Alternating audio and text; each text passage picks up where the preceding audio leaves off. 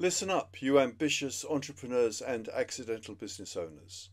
Let's talk about the thrilling world of limited company expenses. Oh, yes, it's as exciting as it sounds.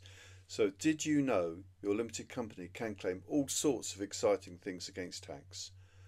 Office rent, utilities, stationery, it's like a shopping spree, but with HMRC footing part of the bill.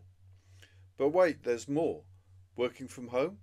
You can claim £6 a week without receipts. It's like HMRC saying, here's a fiver and some change, now stop bothering us. Now, entertainment expenses are a bit trickier. Staff parties? Fine, up to £150 a head.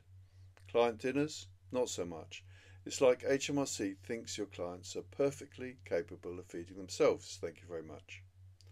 And don't forget, directors can claim too, but only if it's wholly, exclusively, and necessarily for work.